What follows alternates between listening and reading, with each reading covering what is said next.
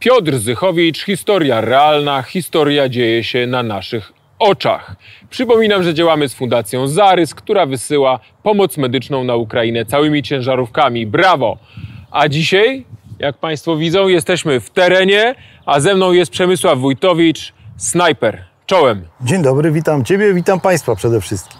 Znacie Państwo Przemysława Wójtowicza. Podczas ostatniego QA umówiliśmy się, że Przemysław Wójtowicz zabierze nas na e, strzelnicę i dotrzymał słowa. Dzięki. Jak zwykle. E, jak zawsze jesteśmy e, na strzelnicy Ibion w Ostrudzie, które w ogóle bardzo dziękujemy za to, że nas dzisiaj tutaj gości.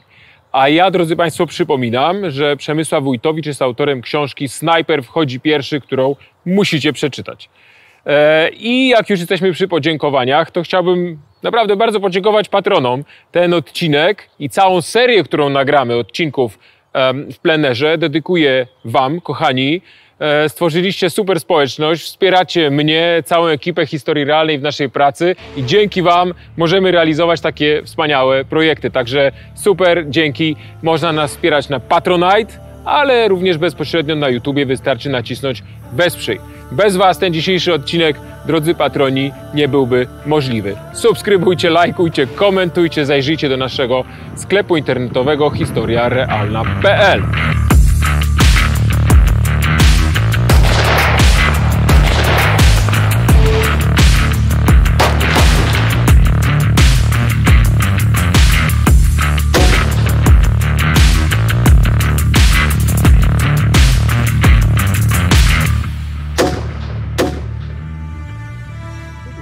No to co, to jedziemy, drogi Przemku, z koksem. Zaczynamy, dzisiaj będziemy strzelać e, na długim i krótkim dystansie z karabinów snajperskich. E, ze snajperem, który ma olbrzymie doświadczenie z Afganistanu.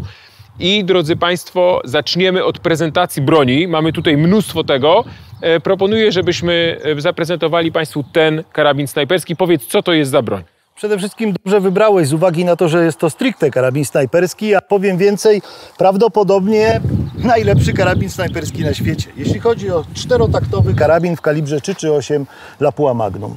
Przed nami karabin Cadex. Jest to kanadyjski karabin, wojskowy karabin stricte, strzelający amunicją y, 338 Lapua Magnum o bardzo dużym potencjale strzeleckim z uwagi na to, że można z niego spokojnie razić cele na dystansie 1500 metrów, a i dużo dalej Ale celnie? celnie. Oczywiście jest tutaj taka norma celności, którą jak zresztą wcześniej Państwu powiedziałem, mierzy się do momentu utraty prędkości dźwięku. W tym przypadku wynosi 1500 metrów. Więc można otwarcie powiedzieć, że żołnierz dysponujący tym karabinem, wyszkolony, powinien razić cele na dystansie 1500 metrów.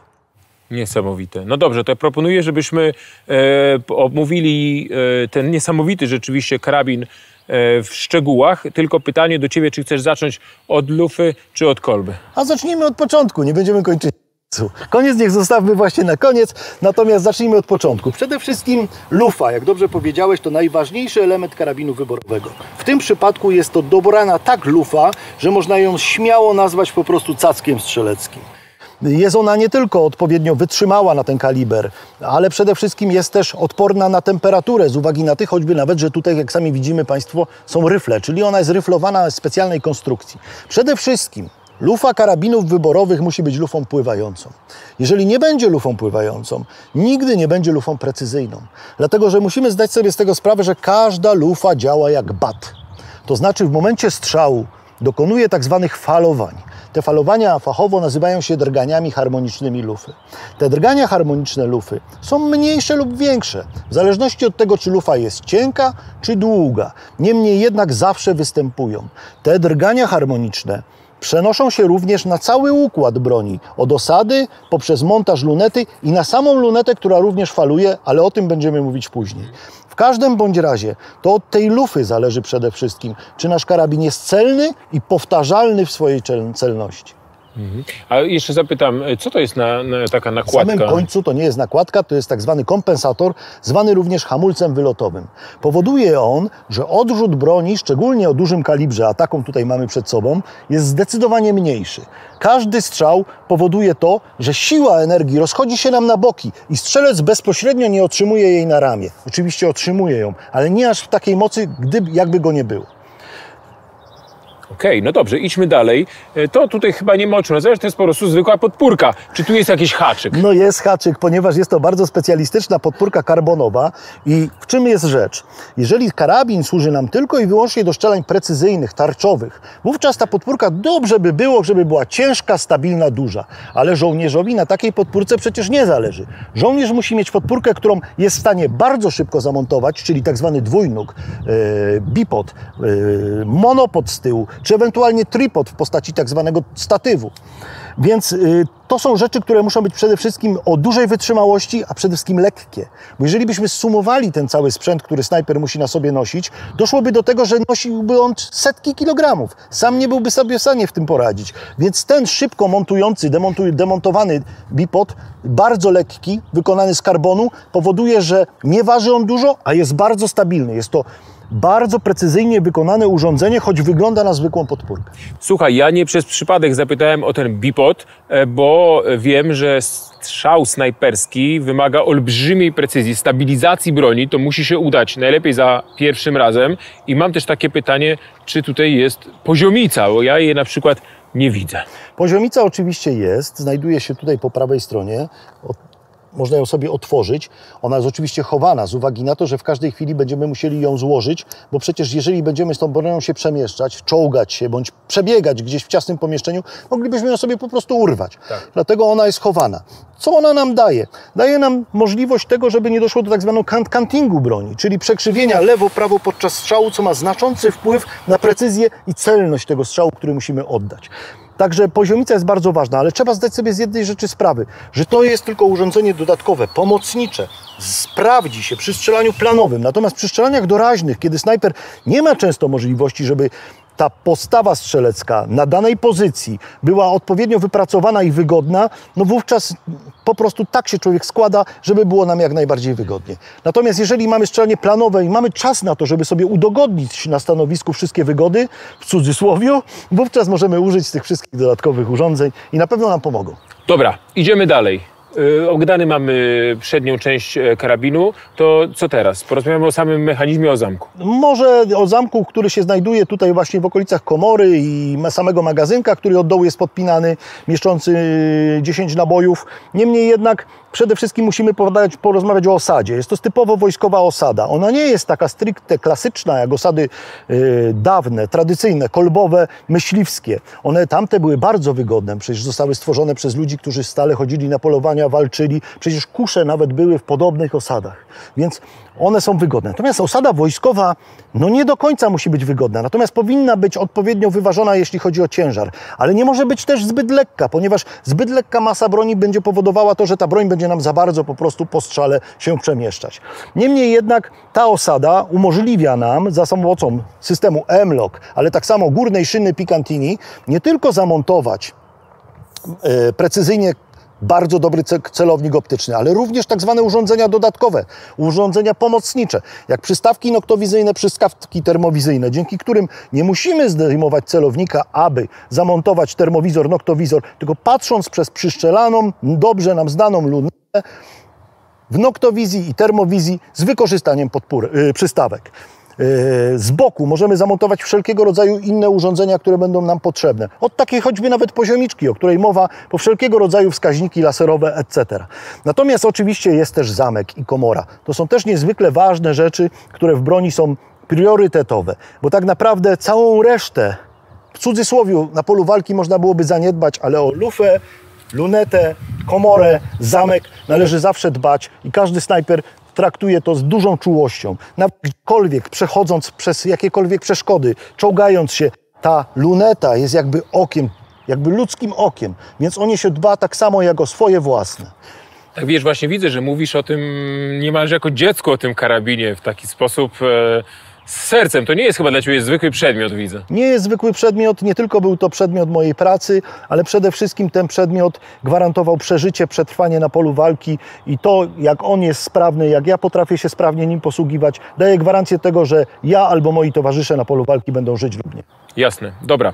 E, jaki element teraz powinniśmy omówić? Ja myślę, że przede wszystkim chwyt, który się tutaj znajduje, pistoletowy, jest to chwyt, który nam umożliwia precyzyjne, wygodne, bezpoślizgowe uchwycenie e, dłonią, którą oddajemy strzał karabinu.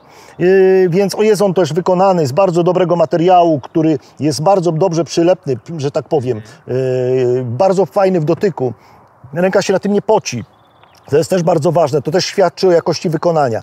Następnie kolba, która Zacznijmy od tego, jest przede wszystkim składana. Taka kolba składana dla żołnierza jest podstawą. Z uwagi na to, że możemy to chować do systemu przenoszenia broni snajperskiej, czyli takiego specjalnego plecaka, do mniejszego dragbaga. Możemy wsiadać do śmigłowca, wysiadać z wozu bojowego i będzie nam zapewne lżej, jeżeli ta kolba będzie złożona. A, A czy możesz, ważne, możesz zademonstrować, jak składa się tą kolbę? Oczywiście. Pierwszą rzeczą akurat w tym karabinie należy zamknąć zamek. Oczywiście komora jest pusta, bo to jest najważniejsze, żeby na samym początku zawsze sprawdzić, czy broń jest bezpieczna.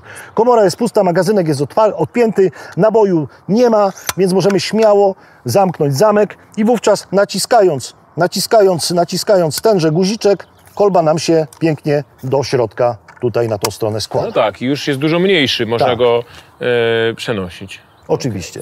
Natomiast, natomiast sama kolba jest też wykonana w sposób wojskowy, dlatego że ona jest uniwersalna, bo przecież w wojsku nie możemy sobie nagle wymyślić, że tylko wysocy będą strzelać z danego rodzaju broni. Nie to może być tak, że w naszym oddziale będą niżsi, wyżsi, grubsi, chudsi. Stąd też taki karabin jest bardzo uniwersalny z uwagi na to, że nie tylko możemy podnieść tak zwany trzewik, czyli to miejsce, w którym przylega nam broń do rowka strzeleckiego, dołka strzeleckiego, czyli do ramienia, ale możemy go też wydłużyć, skrócić, możemy podnieść bakę, która jest niesamowicie ważna, bo ona nie służy do tego, żebyśmy sobie tą twarz położyli na tym karabinie i leżeli. Chodzi o to, że ta baka nam służy przede wszystkim do tego, żeby składając się do strzału, od razu mieć wzrok w linii celowania i nie gubić się i nie szukać tego obrazu w lunecie. Okej, okay. słuchaj, wiesz co, muszę powiedzieć, że jestem zaskoczony, kiedy patrzę na lunetę, nieprawdopodobną ilością pokrędeł. Bardzo dokładne tutaj są zaznaczone milimetry. E, strzelanie jest chyba dosyć skomplikowane. E, wbrew pozorom to nie jest prosta rzecz. Czy możesz powiedzieć, co to jest za luneta? I od razu za pierwsze pytanie będzie takie. Wspominałeś, że ona działa zarówno, można strzelać e, za dnia, tak jak teraz, ale też tu jest noktowizja, znaczy, tak? Znaczy się w tej lunecie nie ma noktowizji, ale są urządzenia, które nam umożliwiają i ułatwiają strzelanie właśnie w takich warunkach. Jest to luneta firmy Zero Compromise Optic, bardzo dobra luneta, bardzo wysoko ceniona, e, która jak w zasadzie można powiedzieć, że lunety na, w świecie strzelania długodystansowego dzielą się na dwa rodzaje.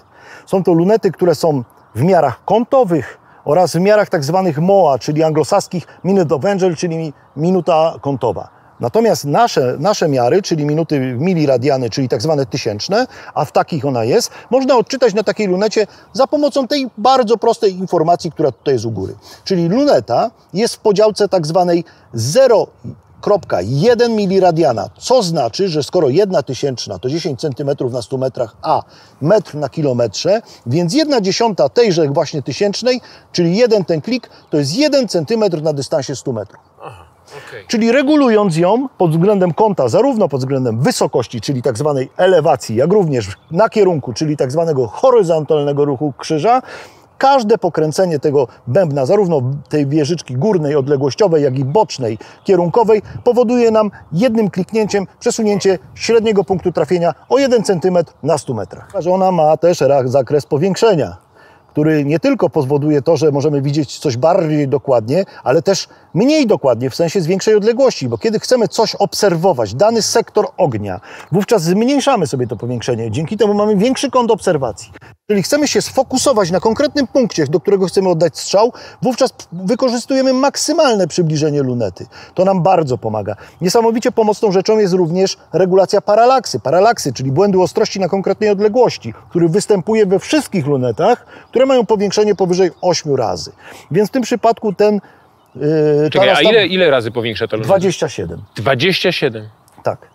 Jest to takie powiększenie dobre, wojskowe powiększenie, dlatego że oczywiście ludzie, którzy strzelają tarczowo, często mają powiększenia nawet w dzisiejszych czasach 80 razy a 50 staje się normą.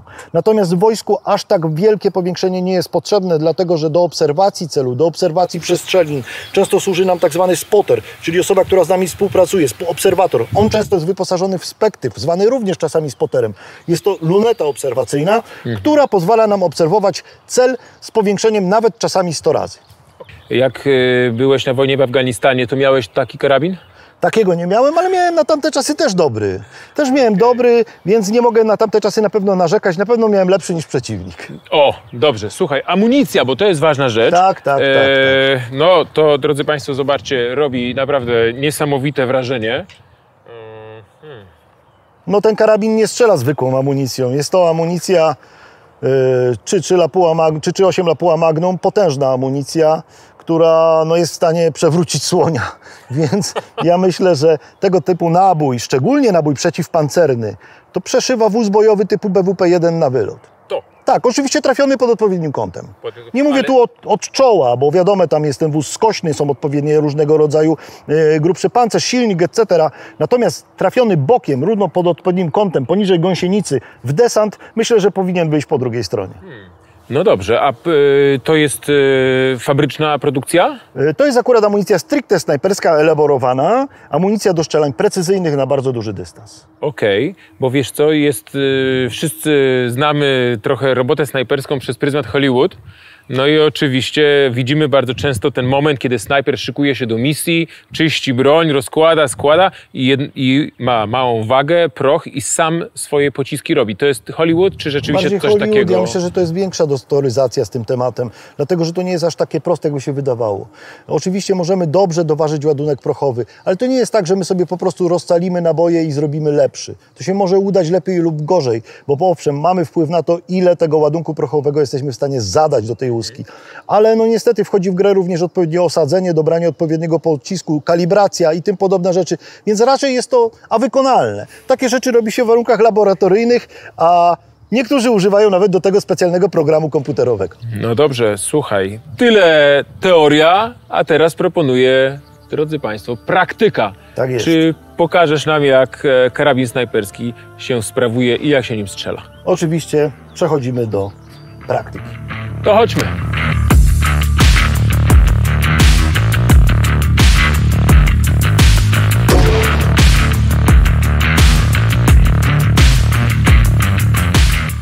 Jesteśmy już, drodzy Państwo, na stanowisku strzeleckim razem z Przemysławem Wójtowiczem i teraz e, mam do Ciebie prośbę, żebyś udzielił mi krótkiego przeszkolenia, jak e, rąbać z tego kopyta.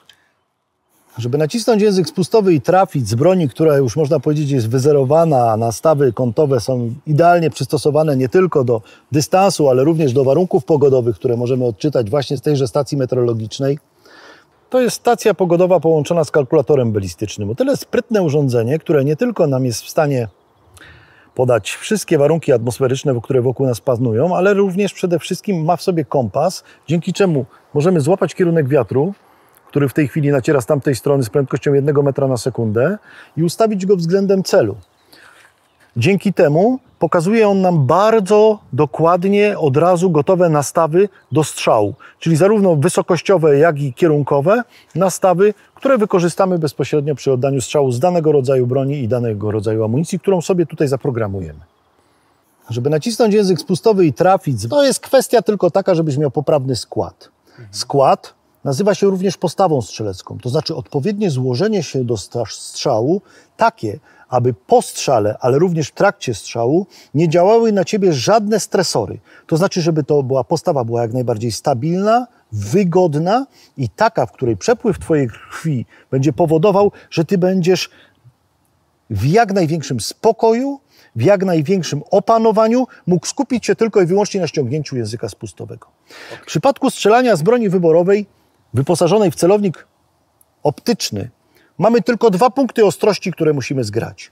Cel i krzyż celownika. Normalnie ludzkie oko potrafi tylko dwa punkty ostrości zgrać, ale w przypadku muszki szczerbinki, muszki szczerbinki celu czy przeziernika e, muszki celu Mamy aż trzy punkty, więc to jest o wiele trudniejsze. Natomiast tutaj sprawa jest bardzo prosta. Największym problemem jest to, aby do momentu strzału utrzymywać punkt, znak celowniczy w punkcie celowania. Strzał ma być zaskoczeniem, ale najpierw masz mieć wygodną postawę strzelecką. Dobra. Zanim do tego podejdziemy, musimy wiedzieć, które oko masz dominujące. Bo możesz być lewo lub praworęczny, ale dobrze jest, kiedy strzelasz z oka dominującego. To chyba wyjdzie w praniu, nie? Nie wyjdzie w praniu. Wyciągnijmy kciuk przed siebie i zgrajmy go z tą latarnią, nie zamykając oka. Zamknij prawe oko. Zamknąłeś? Tak. Uciekła latarnia? Nie. Zamknij lewe. Uciekła? O! Czyli masz lewe dominujące. Mimo, że zapewne jesteś praworęczny. Tak jest.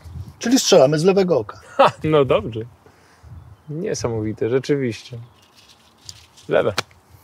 Układamy się do broni tak, aby nasze, w tym przypadku lewe ramię, było idealnie w linii celowania, w linii linii lufy. Okej. Najważniejszą rzeczą jest, abyś teraz obniżył swoją postawę, przyłożył bakę do policzka, a w zasadzie policzek do baki, nie zamykając tego oka, bo i tak widzisz dominującym. Dzięki temu, nie zamykając oko, widzisz wszystko to, co się dzieje 180 stopni wokół ciebie. A tak, zamykając jedno, zawężasz się tylko do 90. I teraz tak, na przedpolu, jeżeli zmniejszę powiększenie do 8, zobaczysz gongi. One są powieszone na, tak są celem firmy MEC, gongi powieszone na dystansie 400 metrów o różnej wielkości, od 10 cm do 30. Teraz I tak. broń przytulamy do siebie, nie pchamy przed siebie, tulimy ją do siebie. Okej. Proszę ła- załadować trzy naboje do magazynu. Jeden już mamy w środku, dobrze. I trzeci. Podpinamy magazynek do broni. Podnosimy lekko kolbę do góry. Proszę podpiąć magazynek. Dobrze. Magazynek zapięty, nie ryglujemy jeszcze broni. Składamy się do strzału. Pełny obraz musimy widzieć w, obiek- w okularze celownika. Żadnych półświatów, żadnych zaciemnień, O, o, o. Jest. no i o to chodzi. Zaryglowywujemy broń. Zamek idzie w przód do oporu i na dół. Do oporu. Bardzo dobrze. Gdzie druga ręka? Tutaj na poducha. Będziesz gotowy do oddania strzału. Pamiętaj, strzał musi być zaskoczeniem. Do momentu strzału idealnie zgrane przyrządy wewnątrz. Dobra. W takim razie palec na spust, idealnie w sam środek ten białe największe koło i ściągamy język spustowy. Trafione. Ale czuły spust. Proszę zdjąć palec ze spustu, odryglować broń, do góry na maks, do oporu, do siebie, w przód. Ryglujemy i powtarzamy cały cykl. Pudło.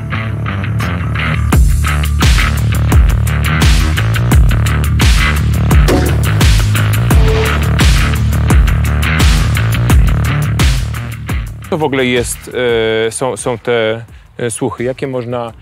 Jeśli chodzi o ochronę słuchu, to dopiero wypłynęło, można powiedzieć, tak na początku lat 2000, że żołnierze mają bardzo poważny uszczerbek na słuchu. Ale to też wpłynęło na to, że strzelectwo rekreacyjne, strzelectwo sportowe z broni wielkokalibrowej się rozwinęło. Z uwagi na to, że jednak ludzie wiedzieli, że to boli, to potrafi zaboleć. Szczególnie kiedy używamy hamulca, kompensatora, tam wtedy ta siła bardziej nam w te uszy jakby uderza, tak? Więc yy, z czasem wymyślono bardzo wygodne słuchawki, które można było ubierać, albo wygodne zatyczki do, uszach, do uszu, taki rodzaj stoperów. Ale okazuje się, że przecież żołnierze się wówczas nie słyszą. Stąd też powstały słuchawki aktywne z możliwością podpięcia łączności, żeby żołnierze mogli ze sobą iść, komunikować się, leżeć, strzelać, komunikować się, a jednocześnie nie mieć uszczerbku na słuchu. Dobrze, drugie moje pytanie jest takie, że widziałem w trakcie strzału ruszające się trawy. Kiedy weszliśmy na strzelnicę, powiedziałeś dobrze, że nie ma bardzo dużego wiatru. Jak je znaczenie mają warunki atmosferyczne, na przykład właśnie wiatr na oddanie takiego strzału? Jesteśmy w zasadzie o godzinie, w tej chwili mam godzinę 13.30. Jest to moment, w którym generalnie wiatr najbardziej nam daje znaki. Dlatego, że mamy tak zwane, ja to nazywam dziury wiatrowe, między świtem a zmrokiem kończącą się nocą, a świtem, zawsze mamy dziurę wiatrową, która trwa gdzieś do godziny dziewiątej. Wówczas praktycznie wiatr ustaje. Natomiast ta sama sytuacja się ma, kiedy przychodzi zmrok. Wtedy wiatr ustaje i dopiero po nadejściu zmroku znowu zaczyna nam pracować. Wówczas ten wiatr zaczyna na przykład w górach wiać nie z góry na dół, a z góry pod górę. Z dołu pod górę. Więc to są takie, można powiedzieć, niuanse wiatrowe, które snajper musi znać. Niemniej jednak nie da się ukryć, że wiatr jest największym czynnikiem balistycznym, najtrudniejszym, największym wrogiem snajpera i prawie nigdy nie sojusznikiem, bo jest mnóstwo innych czynników, które mogą być jednocześnie sojusznikiem snajpera, które powodują na nam zagęszczenie lub rozluźnienie atmosfery, w której pocisk się przemieszcza, trąc jednocześnie. Bo przecież czym mamy większą temperaturę, tym atmosfera wokół nas się rozrzadza. Dzięki temu pocisk jest w stanie dalej przelecieć, tak? I tak naprawdę ten czynnik jest dla nas sojusznikiem. Jeżeli ciśnienie maleje, wówczas również dochodzi do tego, że pocisk ma większą drogę. Natomiast jeszcze mamy taki czynnik, który się nazywa tak zwaną derywacją, czyli nadany ruch obrotowy wokół własnej osi pociskowi, który mu nadaje właśnie gwint, powoduje, że trąc w tejże atmosferze, która nas otacza, w tej chwili wokół nas jest około 1000 hektopaskali, czyli jedna atmosfera, powoduje, że na konkretnym dystansie pocisk zaczyna, kręcąc się wokoło i trąc jednocześnie, zbaczać ze swojego wektoru toru lotu. I to potrafi być aż tak poważny znos, że na dystansie kilometra może to być pół metra dla kalibru 308. Więc jeżeli tego nie dodamy, bądź nie ujmiemy od poprawki na wiatr, który może wiać nam z każdej strony, wokół całej róży wiatru, czyli zegara wiatrowego, który wokół nas jest, wówczas celu nigdy nie trafimy. Nie ma takiej możliwości. Natomiast co do ciśnienia, jest to aż tak bardzo ważne, dlatego że tu w tej chwili, kiedy strzelamy na około 100 metrach nad poziomem morza i mamy te 1000 hektopaskali, kiedy wyszlibyśmy na przykład na Rysy, gdzie mamy 850 hektopaskali, okazałoby się, że na dystansie 900 metrów różnica nastaw wynosi prawie 2 metry. Stąd też nieuwzględnienie tej poprawki na ciśnienie powoduje pudło, stuprocentowe pudło. I tu ciekawostka. Ludzie często opowiadają, że snajper również musi się zajmować wilgocią wokół nas. Nie ma większej bzdury. Różnica między 10% wilgotności a 95% na dystansie 900 metrów kilometra wynosi około 2-2,5 cm. Więc tak naprawdę, biorąc pod uwagę błąd celowania, wszystkiego innego rodzaju niuansy, które są złożone ze złożeniem się do stału, warunkami atmosferycznymi wokół nas, powodują, że ciśnienie owszem, temperatura tak, derywacja jak najbardziej, wiatr przede wszystkim, ale wilgotność wcale. Mhm. Okej. Okay. Yy, powiedz, yy, teraz ja strzelałem do e, tego celu na jakim dystansie? To jest 400 metrów. 400 metrów, rozumiem. Przyznam, że cel jest niewielki, bo jest takiej wielkości, czyli wielkości głowy człowieka. O kurde. Dobrze. Yy, to teraz mam jeszcze pytanie, jak już jesteśmy, rozmawiamy o tym, że snajper nie tylko musi być świetnym matematykiem, żeby to wszystko wyliczyć, nie, nie tylko musi mieć dobre oko, ale musi również e, liczyć się z warunkami pogodowymi, takimi jak wiatr. A po, e, temperatura lufy, też o tym wspominałeś. Czy różni się strzał, jeżeli strzelasz e, w Finlandii przy minus 40, albo na przykład, nie wiem, w Syrii czy, przy plus 40. No to, to jest 80 no, stopni nie da, się, nie, da się, nie da się ukryć, że jest to różnica związana z gęstością powietrza, o czym już powiedziałem. Wiadomo, że tak nazgrzana atmosfera jest bardziej luźna, dzięki temu pocisk przemierzają bardziej swobodnie. Natomiast w Finlandii podczas mrozów, bo ja strzelałem od minus 22 do plus 50 stopni, mam to wszystko udokumentowane i sprawdzone, więc widziałem, jak wielka jest to różnica. Niemniej jednak nie da się ukryć, że wpływ ma jeszcze na amunicję, którą musimy ze sobą trzymać blisko ciała w takich trudnych warunkach, nie wystawiać ją na nagrzanie, ponieważ nagrzanie się amunicji, zarówno na słońcu, jak i tak samo poprzez lufę, która po iluś tam strzałach nabiera swojej temperatury i niedoświadczony strzelec na przykład na zawodach za każdym razem rygluje po strzale, temperatura nam przechodzi bezpośrednio na łuskę. Co za tym idzie? Z łuski na ładunek pruchowy.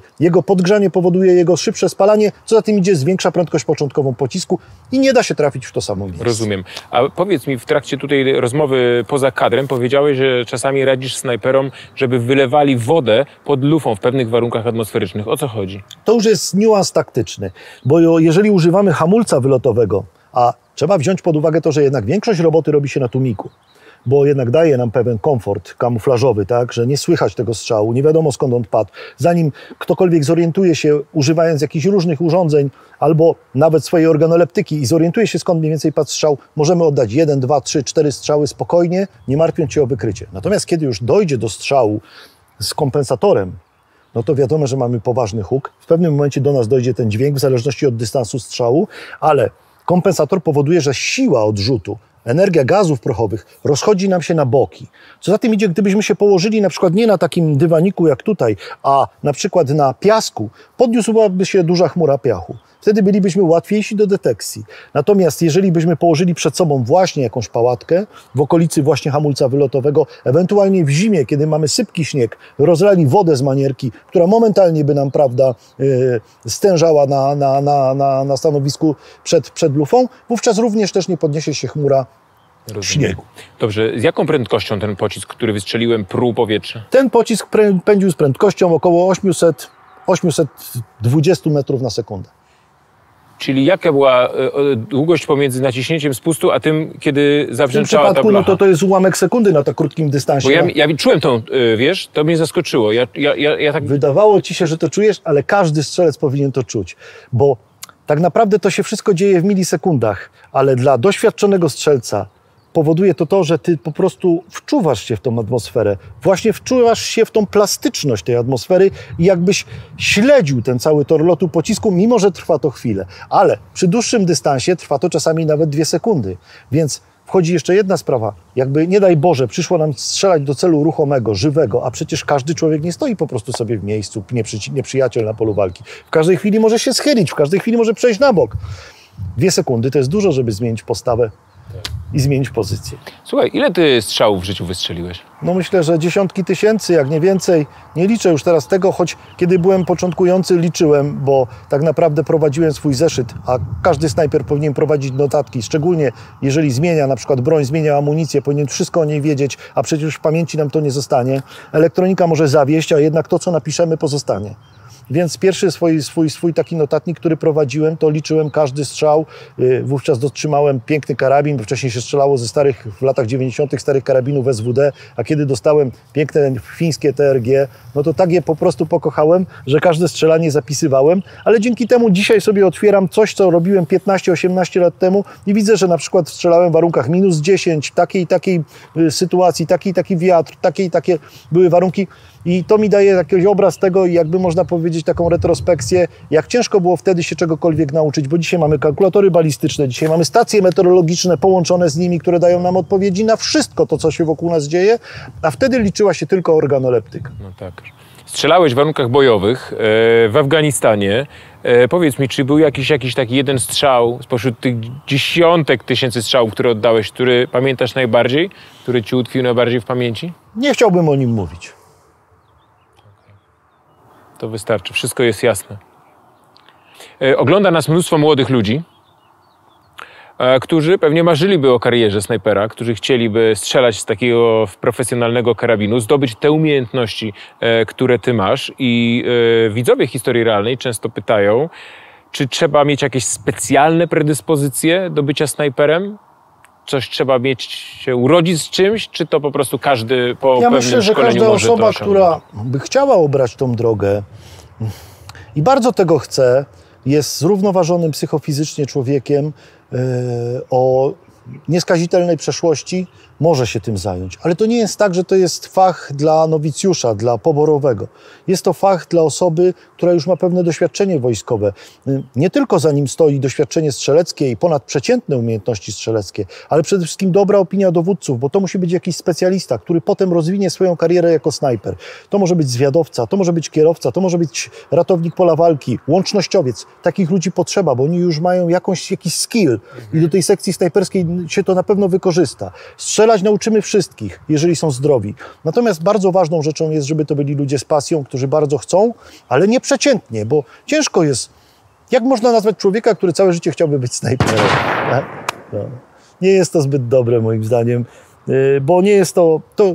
Nikt, kto się za ten fach weźmie, niech nie liczy na to, że będzie tylko i wyłącznie bawił się na strzelnicy. Może przyjść taka sytuacja, że będzie musiał odebrać komuś życie albo komuś uratować to życie. Więc nie jest to lekkie. Z tym się wiąże ubranie munduru, z tym się wiąże służba dla ojczyzny, więc każda osoba, która chce się z tym zmierzyć, musi również z tym liczyć.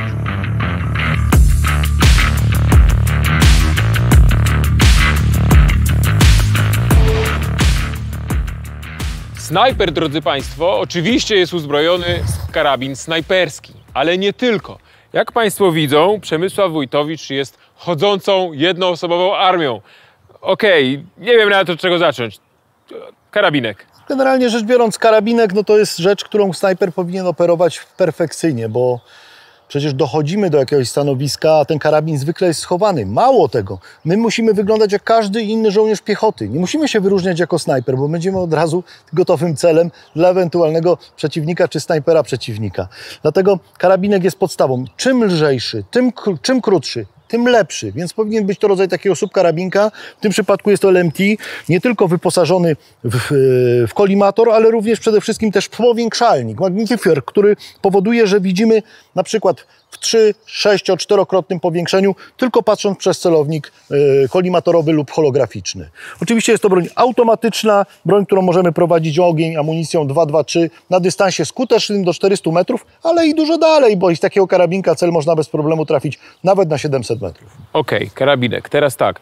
Widzę, że masz pistolet. Tak, E. pistolet to jest rzecz, którą snajper zawsze powinien mieć, bo to jest taki lost line defense, więc bez pistoletu ani róż, bo musi to być oczywiście jak każda broń przejrzana, nie tylko przejrzana, ale musimy zajrzeć do środka, jeżeli chcemy oddać tak zwany strzał kontrolny, musimy się upewnić, czy komora jest pusta, czy na zamku się coś nam nie przykleiło, dopiero jesteśmy w stanie oddać strzał kontrolny, tak jest bezpieczniej. Jest to pistolet Glock 17, nie tylko wyposażony w latarkę, ale również wskaźnik laserowy. W przypadku wejścia do pomieszczenia, a tak też często bywa w pracy snajperskiej, że wchodzimy gdzieś od piwnicy jak złodzieje, albo wchodzimy do pomieszczeń, które są zazwyczaj zaciemnione, więc taka latarka na broni jest bardzo ważna i wskaźnik również, ponieważ nie zawsze jesteśmy w stanie zgrać przyrządy celownicze. Nieraz musimy się po prostu sugerować właśnie wskaźnikiem lasera. Ten wskaźnik to jest ta czerwona kropeczka, którą e, w filmie Terminator pojawiała się na Ale lepiej, żeby przeciwnikach. była zielona, ponieważ wtedy widziana jest w noktowizji. Ha, o, widzisz, to ciekawe. Dobrze, y, ale y, karabinek, pistolet, czy masz jeszcze jakiś element... y, Znaczy się myślę, że z najważniejszą rzeczą, jaką powinien każdy żołnierz by mieć, a przede wszystkim instruktor strzelecki, jest staza, czyli opatronek uciskowy, bo nie da się ukryć, że jednak większość ludzi nie tylko na polu walki, ale głównie od ran postrzałowych ginie po prostu z powodu masywnego krwotoku. Przeoszczeliny, szprze- postrzały głównie są w kończyny, tak? Więc tam znajdują się główne arterie, te arterie ży, żylne, które przestrzelone powodują gigantyczne krwotoki z, z, przyczyn których człowiek jest w stanie, że tak powiem, zakończyć żywota w przeciągu 3 minut. Jasne. Więc szybki ucisk, samopomoc, pomoc drugiej osobie postrzelonej jest konieczna, a możemy to tylko zrobić za pomocą stazy, która jest zatestowana, nie jakiejś byle jakiej opaski, ale nawet jeżeli jej nie, nie mamy, możemy próbować zrobić to pasem. Pasem, okej. E, Ale teraz broń palna jest oczywiście e, jej mnóstwo na tobie teraz, ale zauważyłem też, że masz nóż. E, I rozumiem, to jest ten ostatni już e, polisa ubezpieczeniowa. Co to za nóż? Czy możesz nam To go jest nóż typu TDI. On przede wszystkim nie tyle służy do obrony, co służy do przecinania na przykład pasów bezpieczeństwa, czy to w śmigłowcu, czy w samochodzie, czy w wozie bojowym, ale też do rozcinania często pudełka z amunicją, czy czegokolwiek, do czegokolwiek podcięcia. Oczywiście do obrony również, bo on jest w stylu malajskim, tak? Możemy go trzymać bardzo dobrze w dłoni i powodować nim bardzo poważne rany. Ale on nie służy do zabijania. To jest przede wszystkim narzędzie. Jasne, okej, dobra. Na początku naszego programu Przemysław Wójtowicz pokazał nam i zaprezentował nam karabin snajperski Kadex. Ale dzisiaj strzelamy, drodzy Państwo, również z innej broni. Mamy tutaj trzy e, inne karabiny snajperskie. Krótko powiedz, co to jest. Pierwszy. To jest Lancer, broń półautomatyczna, karabin do strzelań bardzo precyzyjnych w kalibrze 6,5 Creedmoor. Jest to kaliber, który powoduje, że jednak no, współczynnik balisistyczny tego pocisku jest na o tyle, że tak powiem, e, dogodny dla strzelającego, że wybacza dużo błędów, ale jego współczynnik balistyczny powoduje to, że przede wszystkim bardzo ładnie nam prze- przechodzi przez atmosferę do pewnego dystansu, jak również łagodnie przyjmuje siłę wiatru, więc jest bardzo precyzyjnym karabinem, mimo że jest karabinem samopowtarzalnym. Okej. E, Poprzedni karabin, który nam pokazywałeś, to był karabin kanadyjski. Kanadyjczycy słyną w ogóle jako super snajperzy. Podobno e, kanadyjscy snajperzy ukraińskiego pochodzenia robią teraz, sieją spustoszenie e, na Ukrainie wśród rosyjskich oddziałów. A ten jakiej jest produkcji? Jest to karabin amerykański. Amerykański. Numer dwa. Numer dwa, no to to jest słynny karabin, bo jest to karabin Barrett. Karabin również amerykański, który może być wyposażony w dwie lufy. Jedną lufę taką stricte ogólnowojskową, która zasilana amunicją 7,62 308 Winchester, czyli tak zwaną 308. Ona jest świetna do treningu, świetna do strzelań na średnim dystansie, ale w sytuacji, kiedy potrzebujemy, że tak powiem, większego narzędzia do przybicia gwoździa, montujemy w nim lufę 3 czy 8 Lapua Magnum, tak samo jak w Kadeksie i jednym karabinem mamy dwa rozwiązania. Okej. Ostatni karabin. E, ci Państwo, którzy widzieli QA ze snajperem, znają już tą broń. E, co to jest? To jest karabin Tika, jest to karabin fiński, który jest, można powiedzieć, wykonany bardzo podobnie jak karabin wojskowy Sako, natomiast y, Tergie, natomiast jest to karabin też, można powiedzieć, przeznaczony dla służb, ponieważ jego osada taktyczna yy, pozwala nam na wszelkiego rodzaju wojskowo-policyjne udogodnienia snajperskie. Bardzo precyzyjny karabin, co prawda tylko w kalibrze 308, ale to nie znaczy, że nie można z niego bardzo daleko razić cele, bo spokojnie można strzelać na 800 metrów, a zdarzało się, że z 308 udało mi się trafić bez problemu cel na 1200 metrów. Więc można z niego precyzyjnie prowadzić ogień i być zadowolonym ze strzelania. Okej. E, Ta broń, e, te cztery karabiny snajperskie, które tutaj są, to jest absolutnie top światowy. Świetne celowniki, lunety, znakomite wykonanie. I teraz pytanie, które na pewno chcą zadać wszyscy widzowie historii realnej. Ile kosztuje ta broń? Ile kosztują te karabiny? Bardzo dużo. Myślę, że tutaj teraz mamy z 200 tysięcy złotych. Mm, czyli każdy po pięć dych. No, nie każdy po 5 dych, jedne tańsze, drugie droższe, jedna luneta tańsza, druga droższa, ale jakby sumować te wszystkie pieniądze, no to byłaby dość pokaźna kwota. No, jak Państwo widzą, e, snajperstwo to jest e, kosztowne zajęcie. No, ale i snajper jest kosztownym elementem pola walki. Ja zawsze powtarzam, że najcenniejszym. to jest tylko żelastwo, a ludzkie życie jest oczywiście najważniejsze.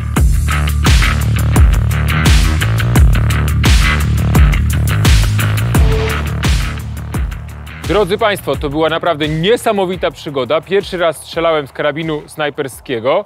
Niestety, przykro mi, ale pora już kończyć nasz odcinek. Orzesz, ty. Żartowałem oczywiście. Żaden e, program o snajperach nie mógłby się odbyć bez omówienia kwestii najważniejszej dla snajpera w boju, czyli kamuflowania. Snajper musi być niewidoczny. E, Jest z nami Przemysław Wójtowicz, którego mogliście Państwo nie rozpoznać, ale również e, nasz drugi dzisiaj gość, Mariusz Szydłowski, czołem, Wolf Hednar, Polska. Panowie, no wygląda to naprawdę niesamowicie. Nie zauważyłem was. E, I teraz e, powiedz mi, e, Przemysławie, co to jest za maskowanie? Co to za typ? Generalnie rzecz biorąc, jeśli chodzi o maskowanie, to nie ma czegoś takiego jak uniwersalna rzecz. To, co jesteśmy w stanie oglądać w filmach amerykańskich bądź jakichkolwiek filmach o snajperach, kojarzy nam się zazwyczaj z tym, że ludzie są ubrani w stogi siana i przemieszczają się od krzaka do krzaka. Tak nie jest. Snajper tylko w momencie, kiedy musi faktycznie bardzo blisko podejść planowo do oddania strzału, musi się zamaskować bardzo dokładnie. Natomiast trzeba zdać sobie z tego sprawę, że podczas przemieszczania się, czy to po lesie, czy w każdym innych warunkach, zbyt obfity kamuflaż będzie nam przeszkadzał. Ale kwestią najważniejszą jest odpowiednie dopasowanie kamuflaża, kamuflażu do otaczającej nas przestrzeni. W tym momencie, jeżeli działamy w terenie lesistym, lesisto-jeziornym, tak jak mamy tutaj, powinniśmy co najmniej 70% kamuflażu zastosować naturalnego. 30% to kamuflaż syntetyczny i mundur. Natomiast musimy zdać sobie z tego sprawę, że nie zamaskowywujemy się cali, ale zazwyczaj tylko w tym miejscu, z którego jesteśmy narażeni na obserwację przeciwnika. Głównie jest to obiektyw lunety, nasza głowa i ramiona. Nie da się ukryć, że nie da się ze sobą nosić wielu rzeczy, bo przecież w takiej sytuacji część oporządzenia musimy zostawić. Karabin w dragbagu możemy za sobą ciągnąć, możemy go wzdłuż siebie prowadzić po ziemi. Poruszamy się wówczas ruchem snajperskim, bardzo oszczędnym, bardzo powolnym, krok za krokiem. Przemieszczamy się tylko na przedramionach i na końcówkach butów, zbliżając się niepostrzeżenie do celu. Natomiast sam kamuflaż wykonujemy w sposób bardzo ciekawy i w zasadzie prosty. Niesamowicie ważną rzeczą do tego jest urządzenie uniwersalne, które stosują snajperzy. Jest to sekator. Mariusz, czy mogę Cię prosić? Rzecz wydaje się śmieszna, ale bez tego snajper nie jest w stanie się obyć w takim terenie jak tutaj. Dlaczego? Jeżeli chcielibyśmy na przykład prowadzić ogień za tego krzaka, ktoś by mógł powiedzieć, przecież trzeba się za niego schować. No i jeżeli padnie z tamtego kierunku, z tamtego kierunku strzał, ktoś może nas szukać właśnie w tym krzaku, ale my możemy być 50 metrów, 100 metrów dalej, na przykład wycinając sobie tylko i wyłącznie w tym krzaku bardzo prosto sekatorem, bez trzęsienia nim okienko. Po wycięciu takiego okienka prowadzimy ogień z większego dystansu. Mało tego, jeżeli chcemy się zakamuflować, zamaskować broń, oporządzenie, każdy snajper dysponuje czymś takim jak dratwa. Jeżeli biorę na przykład kępę krzaków, nie siłuję się z nią, tylko ucinam ją sobie sekatorem. Po ucięciu sekatorem kładę ją sobie na ziemi. Następnie odcinam około półmetrowy kawałek dratwy. Układam go na ziemi,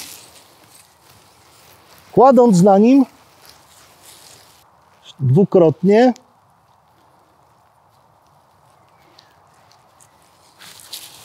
czochram i dowiązuję sobie do oporządzenia. Tym sposobem jestem w stanie bardzo szybko się zamaskować, a co najważniejsze, Przepraszam, i po to są te pętelki właśnie, po to tak? są te pętelki, do których możemy w każdej chwili przymocować tego typu maskowanie. Ta dratwa to jest rzecz również naturalna. Nie będzie nam świecić, nie będzie dawać odblasku. Potem, jeżeli będziemy chcieli się rozmaskować, po prostu odcinamy się bardzo szybko, odcinamy wszystko również tym sekatorem, nie musimy używać dodatkowo noża i jesteśmy rozmaskowani i możemy funkcjonować dalej. E, Teraz zadam Ci pytanie, które nasuwa się chyba wszystkim widzom. Dlaczego nie pomalowałeś sobie twarzy, jak to znamy z filmów? Jest to moja osobista praktyka, którą też uczyłem swoich podwładnych, swoich uczniów, adeptów sztuki strzelania na duży dystans i snajperstwa wojskowego, z uwagi na to, że twarz można pomalować. Jest to dość dobry kamuflaż, ale trzeba zdać sobie z tego sprawę, że snajper, który działa w niedużym pododdziale, który może bardzo szybko wpaść w zasadzkę i w pewnego rodzaju kłopoty, musi często bardzo szybko się rozmaskować, pozbyć się atrybutów, które kojarzą go ze snajperem. Ja uczyłem żołnierzy, żeby zawsze w oporządzeniu mieć co najmniej 100-200 dolarów schowanych. Wówczas wpadam do pomieszczenia, gdzie mieszkają ludzie. Nie jestem terrorystą jak sowiecki bandyta, tylko wyciągam 200 dolarów i poproszę o ubranie cywilne. To każę im schować albo spalić. Przebieram się i wychodzę. Jak ja bym z taką wymalowaną buzią gdziekolwiek do ludzi wyszedł? Opcji takiej niestety nie ma. Więc dlatego zawsze stosowałem syntetyczne kominiarki, yy, ciepłe kominiarki w zimie, a bardzo delikatne, lekkie bawełniane w lecie. Mhm. Dobrze, to teraz e, część praktyczna. Czy taki kamuflaż kiedyś uratował Ci życie w Afganistanie? Używaliśmy tam zupełnie innych kamuflaży, nie tego typu. Używaliśmy kamuflaży skalnych, które wówczas też były naszym patentem. Po prostu malowaliśmy w, na różne kolory, piaskowe, szare, odcienie kamieni. Zimowe kombinezony. One nabierały kształt kamienia, twardniały, robiły wypuk, wypu, uwypuklenia, takie jak ma kamień i były matowe. Co za tym idzie, po ubraniu takiego wyglądaliśmy jak po prostu kawałek skały albo kamień. No tak, a z kolei wiemy, że jak jest zima, to się białe maskowanie W e, zimie stosuje. obowiązują tak naprawdę dwa kolory. Czarny i biały. I co jest bardzo ważne, jeżeli stosujemy biały kamuflaż, nie może on być matowy. Musi to być coś w stylu jakby takiego materiału jak folia malarska, który odbija światło, dlatego że śnieg również odbija światło. Jeżeli nam ten kamuflaż namoknie, on wówczas świeci. Znaczy się robi się szary na tle świecącego, na tle świecącego śniegu. Więc dlatego on musi również być odblaskowy. Okej. Panowie, no to jest naprawdę imponujące, a teraz, drodzy Państwo, zobaczymy to, w jaki sposób snajperzy strzelają z zamaskowanych pozycji.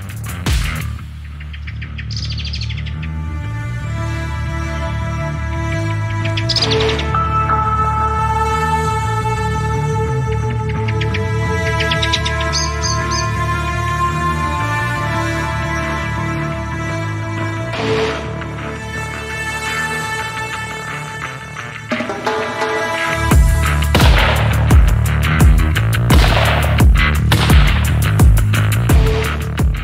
Tym samym, drodzy Państwo, nasza przygoda ze snajperem dzisiaj dobiegła końca. Jestem naprawdę pod wielkim wrażeniem. To było niesamowite. Bardzo Ci dziękuję. Ja również dziękuję i Tobie, i Państwu dziękuję za uwagę, a przede wszystkim dla mnie też to było bardzo miłe spotkanie. Dziękuję bardzo. Zachęcam Państwa do przeczytania książki Przemysława Wójtowicza. Snajper wchodzi pierwszy. Naprawdę świetna. Bardzo Państwu ją polecam. I chciałbym bardzo podziękować e, patronom. Bez Was, kochani, by to było niemożliwe. Ten wyjazd, w ogóle cała moja robota tutaj, całej redakcji Historii Realnej. Działamy dzięki Wam. Bardzo Wam dziękuję za to wsparcie. Wspieracie nas na Patronite, gdzie już jest ponad tysiąc patronów rewelacja i na YouTubie. Wystarczy nacisnąć wesprzyj pod tym filmem, żeby zostać naszym wspierającym, naszym patronem. E, subskrybujcie, komentujcie, lajkujcie, zajrzyjcie do naszego sklepu, do naszej księgarni internetowej historiarealna.pl, gdzie możecie kupić e, kubki, moje książki bezpośrednio ode mnie, a także koszulki takie jak ta. I ja na koniec mam dla Przemka prezent. Też taka koszulka. E, Dziękuję bardzo, będę nosił z przyjemnością i dumą zarazem. super, dziękuję bardzo. Ja również dziękuję. I na koniec wielkie podziękowania dla strzelnicy Ibion w Ostrudzie, która dzisiaj nas tutaj gościła. Super chłopaki. I wielkie dzięki Wzajemnie. dla snajpera. Piotr Zychowicz, historia realna. Historia dzieje się na naszych oczach.